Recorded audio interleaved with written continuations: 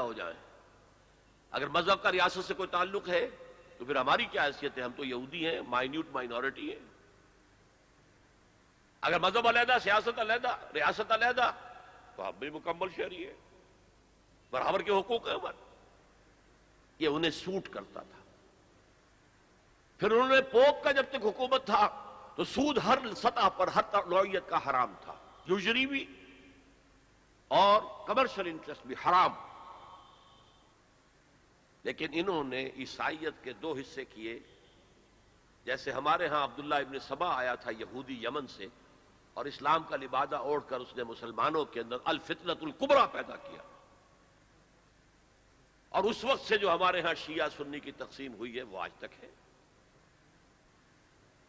इसी तरीके से क्रिश्चियनिटी को इन्होंने फाड़ कर कैथोलिसिज्म और प्रोटेस्टेंटिज्म के अंदर तकसीम कर दिया और प्रोटेस्टेंट्स जो है, उनको आलयकार बनाया। सबसे पहला प्रोटेस्टेंट मुल्क बर्तानिया। बर्तानिया ने पोप से अपना अलहदा किया, चर्च ऑफ़ इंग्लैंड अलहदा कायम कर लिया। अपना बैंक सबसे पहला कायम किया, बैंक ऑफ़ इंग्लैंड, यहूदियों का बैंक। बहरहाल, इन तरीके से इन यहूदियों ने रफ्ता रफ्ता रफ्ता रफ्ता यूरोप को अपने शिकंजे में कस लिया। अब ये जो रिनाइसेंस हुआ और एहयाउलूम हुआ और साइंस की तरक्की हुई।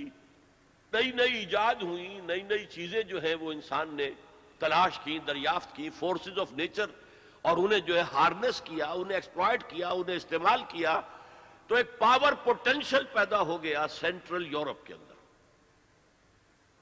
और ताकत तो फिर अपना नफूस चाहती है इधर उधर कोई ताकतवर पहलवान हो तो वो इधर भी जाते हुए कंधा मारेगा, उधर भी कंधा मारेगा। तो वो तो ताकत का जहूर वो चाहता है। लेकिन नोट कर लीजिए, आलम इस्लाम का पहरा, पहरेदार सल्तनत उस्मानिया बहुत मजबूती के साथ खड़े हुई थी। यूरोप और अफ्रीका जाने का रास्ता बंद, कहाँ से जाए? Great Ottoman Empire standing at a sentinel एक संतरी की हैसियत से खड़ी। खुशकी के रास्ते जाना मुमकिन नहीं था। लेकिन यह कि जो है, इस सैलाब ने सेंट्रल जो यूरोप से आया है, ताकत का सैलाब, उसने पहले तो सफाया किया, ये दूसरा डाउनफॉल हमारा शुरू हो रहा है। सबसे पहले सफाया किया हस्पानिया का।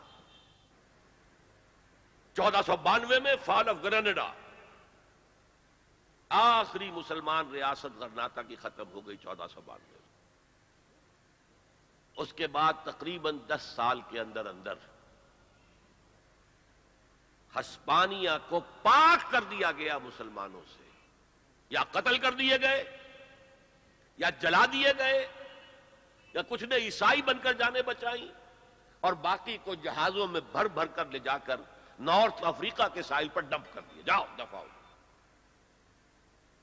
ये है जवाल सानी हमारा और उसके ऊपर अल्लाह के अजाब के घोड़े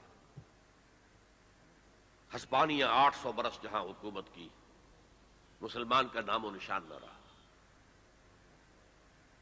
चौदह सौ बानवे में हुआ था फाद ऑफ़ गलेंडा चौदह सौ अट्ठानवे में वास्कोडी गामा ने रास्ता तलाश कर लिया मशरक का। ऑटोमान अंपायर को बाईपास करके अफ्रीका के मगरबी साहिल के साथ नीचे तक जाकर round the Cape of Good Hope और फिर वहाँ से मशरक की तरफ़। जजायर शर्कुल हिंद, जावा, सुबाट्रा, मलाया हिंदुस्तान। अब ये कॉलोनियल पावर्स उस रास्ते से आई हिंदुस्तान में फ्रेंच भी आए, अंग्रेज़ भी आए पोर्चुगीज भी आए, लेकिन बाकी सब खत्म हो गए, अंग्रेज़ बाकी रहा। मशरक बैद के अंदर डच रहे और फिर ये रफ्ता रफ्ता रफ्ता रफ्ता रफ्ता रफ्ता ये प्रोसेस होता होता, बढ़ता बढ़ता। बीसवीं सदी के आगाज़ में अपने क्लाइमैक्स को पहुँच गया।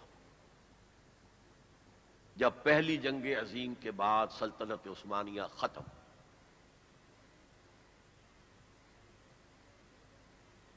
हिस्से बखरे, बल्कनाइजेशन जिसे कहते हैं। बल्कान की रियासत में ये सब क्या थी? ये तो तुर्कों की हुकूमतें थी। ये जो कोसोवो में और बोस्निया में जो मुसलमान हैं, ये किनकी यादगार हैं? बाकियात सालहात किन की है? उसी दौर की, तुर्कों के दौर की। लेकिन अब सल्तनत उस्मानिया भी खत्म। अरबों ने अंग्रेज़ों की मदद की। कर्नल लॉरेंस ने अरबों को आबादा किया बगावत पर। अरबों ने बगावत की। अंग्रेज़ों की मदद की। और खुद हिंदुस्तान से हिंदुस्तानी फौज गए अंग्रेज़ के तहत और उन्होंने जाकर अंग्रेज़ की मदद की। जनरल एल बी को कब्जा लेकर दिया यरूशलेम का और जनरल एल बी ने जाकर ठोकर मारी थी सलाहुद्दीन अयूबी की कब्र को। Saladin we are again here ये हमारा जवाल जो है, इंतहा को पहुँच गया पहली जंग अजीम के बाद। वादे किए गए थे, अरबों से तुम्हें आज़ादी देंगे। लेकिन हुआ क्या? हिस्से बखरे कर दिए, टुकड़े कर दिए। ये तुम्हारा, ये मेरा, ये उसका। इराक और मिस्र हमारे, बरतानिया के। शाम, फ्रांस का। लीबिया, इटली का। फिर अलजायर फ्रांस का।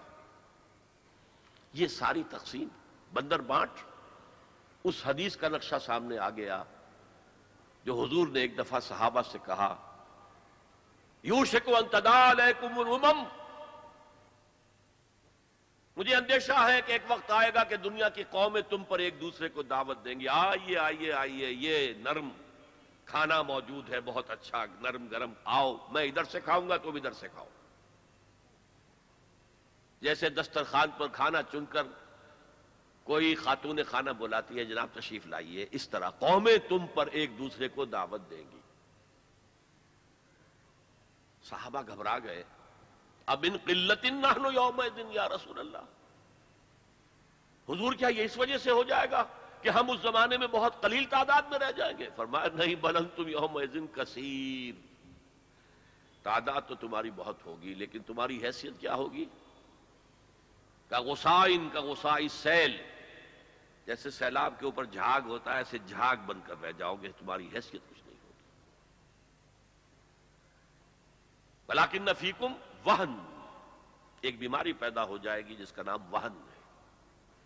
वहम नहीं वहम को जानते हैं आप, सुपरस्टिशन या कुछ और। वहन, वाओ, हा, नून, वहन। अब इस वर्ष का नाम कभी सुना नहीं था। पूछा, मल वहन हो या रसूल अल्लाह फरमाया, हुब्बुद दुनिया व कराहियतुल मौत। जब दुनिया की मोहब्बत तुम्हारे दिलों पर कब्जा कर लेगी और मौत से तुम्हें नफरत हो जाएगी, बजाय इसके कि खुश आमदेद कहो कि निशान मर्द मोमिन बात गोयम चु मर गाय तबस्सुम बर लबे उस्त मैं तुम्हें बताऊँ मर्द मोमिन की निशानी क्या है? जब मौत का वक्त आता है, उसके होंठों पर मुस्कुराहट होती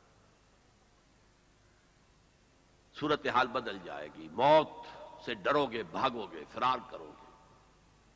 और दुनिया की मोहब्बत तुम्हारे दिल में पिला दी जाएगी। वो हाल आलम इस्लाम का हिस्से बखरे करके तकसीम कर दिया गया। मैं इसे इस्लाम का माजी करार दे रहा हूँ। दो उरूज, दो जवाल। जैसे दो उरूज वहाँ थे, दो जवाल थे। वहाँ पहले शिमाल से आए थे अशूरी, यहाँ शिमाल से आए क्रूसेडर्स। वहाँ मशरक से आया था नबुकट नज़र, यहाँ मशरक से आए तातारी होर्स फिर वहाँ दूसरे दौर में, वहाँ यूरोप से ताकतें आई, ग्रीक्स आए, रोमन्स आए। हम पर यूरोप की दूसरी ताकतें आई। अंग्रेज़ आए, फ्रांसीसी आए, स्पेनियर्स आए, इटालियंस आए। ये तमाम ताकतें हैं कि जिन्होंने कॉलोनाइज किया मुस्लिम वर्ल्ड को। अब देखिए, मैं एक बात अर्ज़ कर दूँ जो मुझे पहले कहनी चाहिए थी। ये हाल किस बला का नाम है ये मुन नहीं हो सकता। इसलिए कि हर लम्हा एक लम्हे पहले तो माजी और एक लम्हे बाद मुस्तकबिल। तो हाल क्या है? हाल किसे कहेंगे? जैसे आपने ज्योमेट्री में पढ़ा होगा नुकता किसे कहते हैं? पॉइंट, जिसकी कोई डायमेंशन ना हो, ना चौड़ाई, ना मोटाई, कुछ नहीं लाइन किसे कहते हैं? जिसकी सिर्फ़ एक डायमेंशन है। लेंथ होगी उसमें, कोई चौड़ाई मोटाई नहीं होगी। तो यही मामला हाल का है। माजी और मुस्तकबिल के दरमियान एक